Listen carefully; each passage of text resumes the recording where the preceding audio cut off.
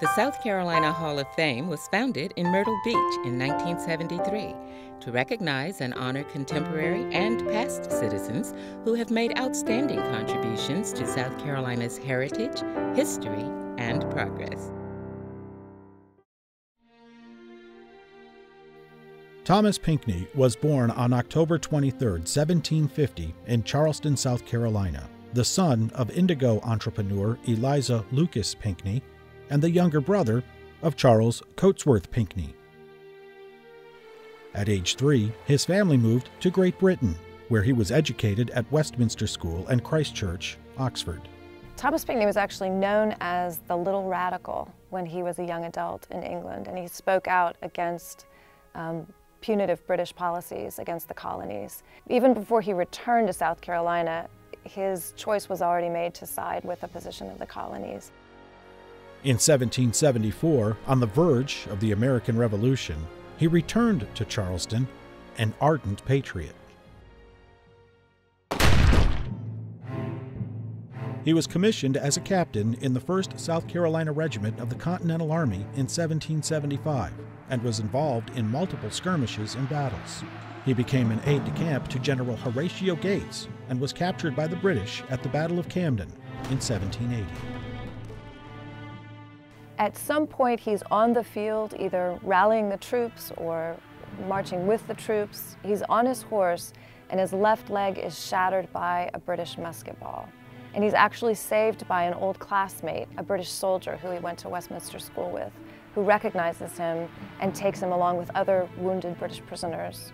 After recovering from his wounds, he was eventually released in a prisoner exchange and later went into battle again, this time under the command of Lafayette in several campaigns in the colony of Virginia.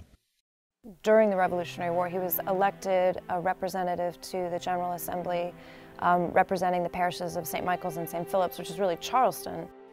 After the war, Pinckney took up the family's lucrative business, running plantations throughout the region, and eventually, like most of his family, dedicated his life to politics. His brother and his cousin are serving at the Constitutional Convention. He's governor, and as governor, is president of the state convention to ratify the Constitution. In 1791, he served in the South Carolina House of Representatives. He was appointed by President George Washington to be the U.S. Minister to Great Britain in 1792. During that time, he was actually sent on another special mission to Spain to negotiate what's known as the Pinckney Treaty or the Treaty of San Lorenzo, which gave the United States access to the port of New Orleans, which was crucial at the time. His success as a diplomat garnered him a nomination by the Federalist Party in the presidential election of 1796 as the running mate to presidential candidate John Adams. Although Adams won the presidential election, it was actually his opponent, Thomas Jefferson, who became vice president.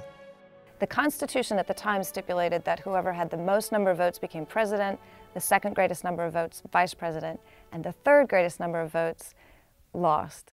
In November 1797, Pinckney was elected to the United States House of Representatives and served till 1801.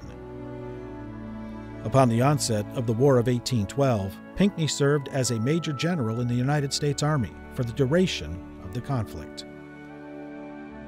And his main concern and his efforts were focused on negotiation with the Creeks and fortifying the southeast coast, major cities like Charleston, Savannah.